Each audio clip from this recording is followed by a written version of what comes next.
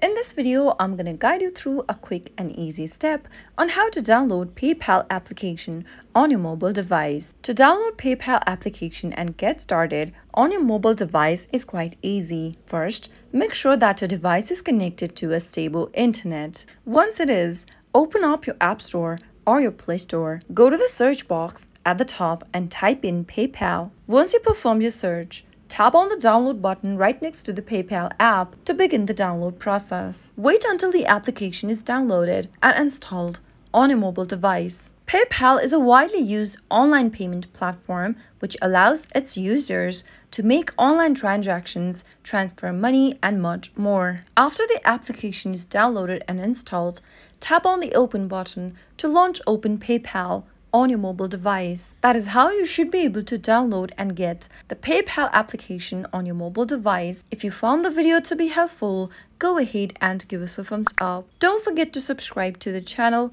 by hitting the subscribe button. Also press the notification bell so that you'll never miss another upcoming upload from us. I'll be back soon with another tutorial video. Goodbye till then.